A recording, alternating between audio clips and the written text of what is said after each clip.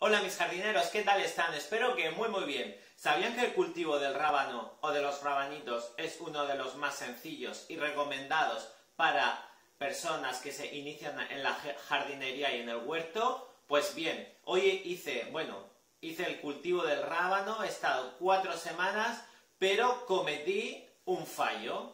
¿Sabéis el fallo que es? No mirar el tiempo. Aunque parezca una tontería, el rábano, especialmente durante las primeras 10 días, semana 10 días, necesita tener mucha luz. ¿Y qué es lo que ha pasado con mi cultivo para que se eche a perder? Pues bien, puse las semillas y no miré el tiempo. Un error muy grande. ¿Qué es lo que pasó? Lo tuve que tener aproximadamente una semana o 10 días dentro de casa porque hubo mal tiempo, muchísimo viento, días nulos, entonces, los primeros 10 días estuvo dentro de casa.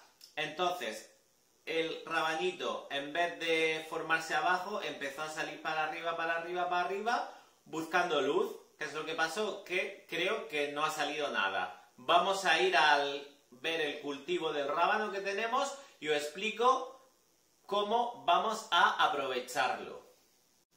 Ya estoy aquí con mi plantación de rabanitos y bueno, me parece que ha sido un poquito, eh, parece a priori bien, pero no. Esto, los tallos son muy largos y es lo que he dicho al principio, se, se hubo muy mal clima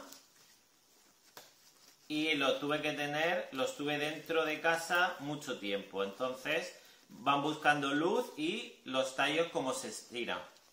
Vamos a coger aquí, mira, el primer rabanito Vamos a ver si hay rábano o no hay rábano. Como podéis ver, no hay, no hay rábano.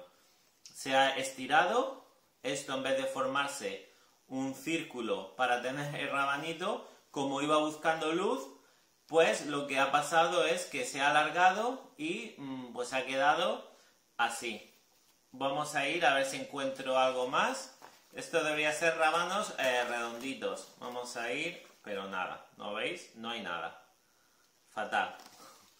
La verdad es que no ha valido, pero no os preocupéis porque se pueden hacer dos cosas. Bien, o dejar que crezcan para dejar que florezcan y extraer las semillas, pero como tengo, no lo voy a hacer. Estas hojas, las, hojas del rábano, se pueden comer, ¿eh? así que la podemos aprovechar. Tiene muchísimas propiedades curativas entre las que tiene son, eh, tiene propiedades, digamos, diuréticas y tiene muchas vitaminas. Aportan calcio, potasio y también hierro. Y luego contienen las vitaminas A, C y B3, que eh, está muy asociada al rejuvenecimiento. La vitamina C sabéis que es muy buena y nos ayuda a combatir enfermedades. ¿Qué puedo hacer yo con estas hojas de rábano? ¿Cómo puedo utilizarlas? Bueno, lo primero es eh, recolectarlas, cortarlas en, trocitos y las voy a conservar. Eh, ¿Para qué la voy a poder utilizar? se puede utilizar para cualquier tipo de sopa, incluso una sopa de verduras. También se pueden hacer cremas con las hojas eh, de rábano eh, añadiendo pues otros ingredientes, lo que más guste, cebolla, puerros, patatas, zanahorias, calabacín, calabaza, vamos. Luego también podemos añadir en batidos con añadidos a batidos bien de verduras o bien de frutas, se lo podemos agregar.